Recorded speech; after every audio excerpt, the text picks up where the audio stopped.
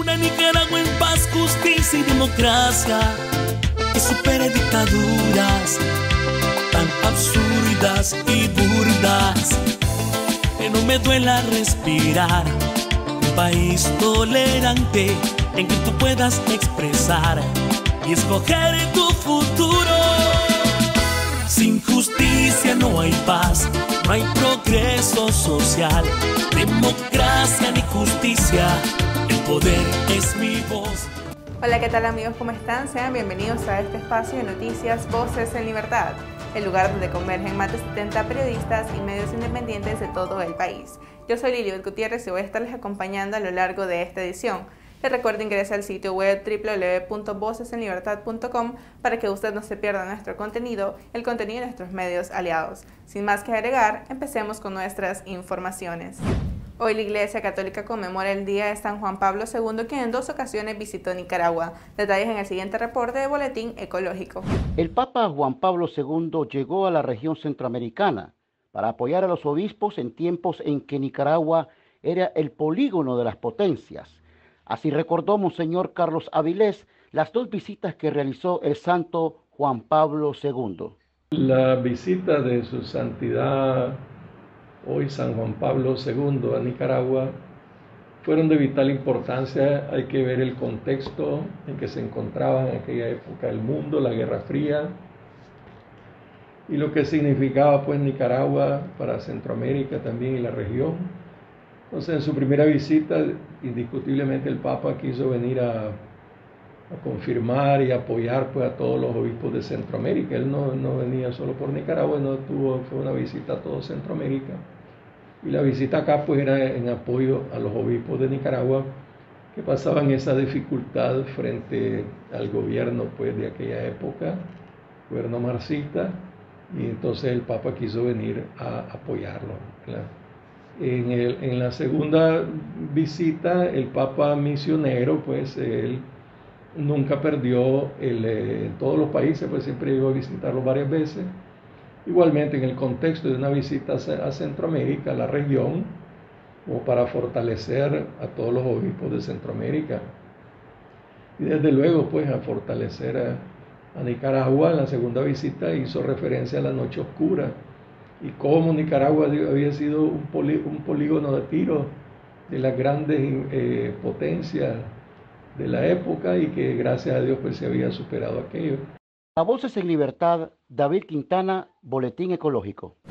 Docentes de Masaya se encuentran sumamente preocupados por la calidad de la educación superior. Detalles en el siguiente reporte de Noel Gallegos. Los exámenes de admisión que fueron suspendidos en las universidades públicas de Nicaragua deberían ser compensados con otra medida desde la secundaria para que el estudiante descubra su verdadera vocación, según analizó el profesor Álvaro Gómez. En la secundaria se debería hacer un test vocacional donde el joven ya eh, eh, con, ese test que se le haga y se conozca sus habilidades en, en la parte profesional o, en, un futuro de este, profesión, él vaya mejor este, preparado psicológicamente. El profesor Gómez considera que el sistema educativo universitario no debería tener connotaciones políticas. Eh, yo, lo veo más desde el punto de vista político, populista, de parte de las autoridades universitarias, que desde el punto de vista este, académico o profesional. Eh, desgraciadamente, pues las universidades, yo salí de la UNAM Managua, eh, ha perdido mucho prestigio en, la en, la formación académica de los jóvenes. Con esto no te estoy diciendo que, los jóvenes que salen allí, en su mayoría, eh, no sean buenos profesionales. Sí, salen excelentes profesionales, tenemos excelentes profesionales, pero podríamos producir mejores profesionales. es sin distorsionar, distorsionarlo desde el punto de vista político, presentarle tal y como son las situaciones que suceden en Nicaragua. El académico Ulises Avendaño considera que debe asignarse más recursos desde la primaria para mejorar la calidad de la educación en Nicaragua. El examen de admisión está planteado para hacer un filtro. Un examen de admisión no te garantizaba calidad. Lo que hacía un filtro. Tengo un espacio para mil alumnos, pero hay seis mil esperando entrar bueno, vamos a hacer este examen para poder asignar estos cupos, este espacio, por por falta de capacidad instalada física o por falta de presupuesto. El problema lo traemos desde preescolar, desde primaria y lo vamos arrastrando, ¿no? Tenemos que hacer una reflexión y enfocar todo nuestro recurso al preescolar, primaria y vamos a ir mejorando de poco a poco todo. Esto iré solito. Después, los países que se han desarrollado han invertido en educación. Y recordemos, la inteligencia no tiene partido. Todos tenemos virtudes. Agregó que la clase política de Nicaragua está obligada a dignificar y priorizar la educación. Le puedo decir a la comunidad estudiantil que, que está graduándose este año que se acerque a las universidades públicas como privadas, que aprovechen que en las estatales van a haber espacios para, que, para poder entrar con ustedes de actitud, que aprovechen también eh, que tienen la juventud y, la, y ese vigor para estudiar y a los líderes políticos el llamado es para que la educación sea dignificada, para que la educación sea puesta en mejora, se requiere de un diálogo fraterno, serio, incluyente.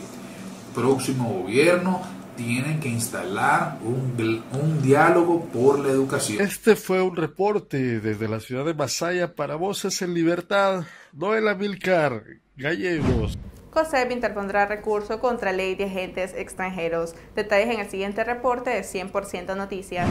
El presidente del Consejo Superior de la empresa privada COSET, Michael Healy, informó que COSET recurrirá por inconstitucionalidad contra la ley de regulación de agentes extranjeros que aprobaron diputados sandinistas en la Asamblea Nacional.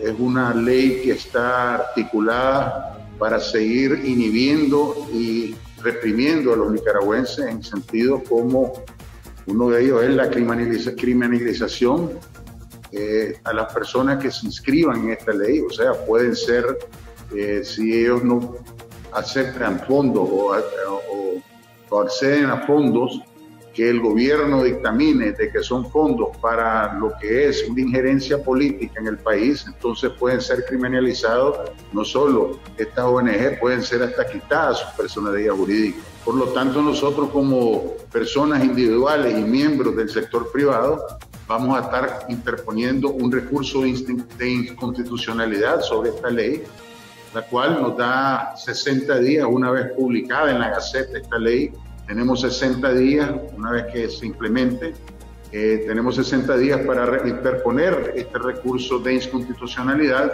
ante la Secretaría de la Corte Suprema de Justicia.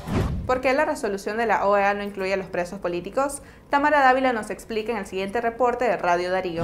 Con el apoyo de 20 naciones, la Organización de Estados Americanos aprobó una resolución sobre la crisis sociopolítica de Nicaragua que da plazo hasta mayo del año 2021 para establecer reformas electorales.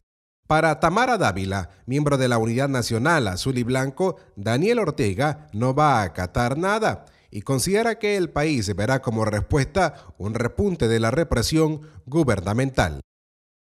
Ortega no va a acatar nada si él no quiere acatar absolutamente nada, al contrario, lo que hemos visto es un enorme despliegue policial, lo que hemos visto desde sus declaraciones la semana pasada y, la amenaza de que ya no va a dar más eh, amnistía es precisamente un repunte en la represión. En este momento hay muchas casas de opositores siendo asediadas.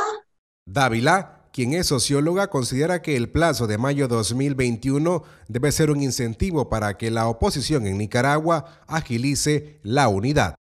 La coalición nacional está en cada persona, en, la, en, cada, en cada eh, azul y blanco en este país que quiere salir de esta dictadura por la vía cívica. Está en, la posibilidad que tiene cada persona de organizarse en su barrio, en su comunidad, de eh, gestionar acciones de resistencia cívica y pacífica en cada lugar, de no amedrentarnos. Tamara Dávila dijo a Radio Darío o nos unimos o nos hundimos, en un llamado a la oposición para que corra en una sola casilla para intentar derrotar electoralmente al gobernante Frente Sandinista. Y es la unidad de todas las fuerzas eh, de, oposición. Aquí el, interés superior de Nicaragua, de la democracia, de la libertad, eh, tiene que estar por encima de cualquier interés individual. Y eso es lo que hemos venido diciendo como unidad nacional y también lo estamos empujando desde la coalición. Aquí o nos unimos o nos hundimos, como dicen otros. De Radio Darío para Voces en Libertad, informó Francisco Torres Tapia. Dictaminan proyecto de ley de ciberdelitos. Detalles en el siguiente reporte de Nicaragua Investiga. Finalmente, la polémica ley de ciberdelitos, con la cual el gobierno de Daniel Ortega pretende acallar las denuncias de los medios de comunicación independientes, fue dictaminada para su posterior presentación en el plenario, donde sería aprobada. Los diputados de la bancada del PLC emitieron un voto razonado rechazando la totalidad del dictamen favorable. Los legisladores argumentan su oposición a que la iniciativa de ley especial de ciberdelitos viola la constitución política y los derechos y garantías del pueblo nicaragüense. Resaltan además que con la ley a los ciudadanos nicaragüenses dentro y fuera del país se les inhibe del derecho de denunciar a través de cualquier medio de comunicación las anomalías y arbitrariedades que cometen los funcionarios públicos en el ejercicio de sus cargos, lo cual es fundamental en todo Estado social y democrático de derecho. Nos oponemos en su totalidad al dictamen favorable suscrito por los diputados oficialistas en torno a la iniciativa de ley especial de ciberdelitos, oposición que fundamentamos a que el Estado de Nicaragua aún a este día, fecha y hora no es suscriptor de convenio y o tratado alguno sobre los ciberdelitos, pues no basta invocar la asistencia legal mutua en el principio de reciprocidad conforme al derecho internacional, pues con este principio no se puede violentar el artículo 43, parte infine de nuestra constitución política, sobre la extradición de sus ciudadanos. Los nicaragüenses no podrán ser objeto de extradición del territorio nacional. El dictamen de la iniciativa de ley de ciberdelito prácticamente quedó a como llegó. Hay algunas adiciones eh, de forma y muy pequeñas.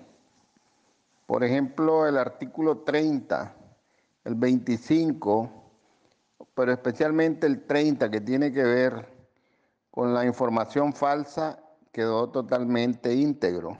Hemos llegado al final de nuestras informaciones. Gracias a todos ustedes por estarnos acompañando en esta edición. Les recuerdo estar visitando nuestras diferentes plataformas digitales. Nos encuentra en Facebook, Instagram, Twitter y YouTube. Así como también invitarlos a que se suscriban a nuestro canal de YouTube, active la campana de notificaciones para que usted no se pierda nuestros videos y siempre se mantenga informado. Le reiteramos, tome todas las medidas preventivas frente al coronavirus y que nuestro deber es informar y su derecho es estar informado. Hasta la próxima.